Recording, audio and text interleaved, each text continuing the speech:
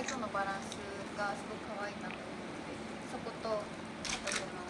夏なので、まあ、ちょっと露出をしている可愛いかなと思います私は足かな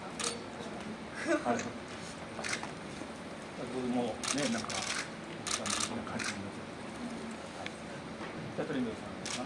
風船です。あの本番風船を持って歩くんですよ。はいであのお客様にこう配ったりもするので、へーお花を。はい。楽しみですわ。はいじゃあ。そうですね。でも全体的にお花な感じとキラキラ、キラキラしてるのでそれをやっていただきたいなと思います。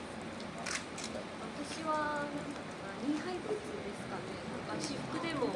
あのこういうのを取り入れたいなっていうふうにニーハイブーツを取り入れたいなっていうふうに思ってるんでここに注目してほしはい。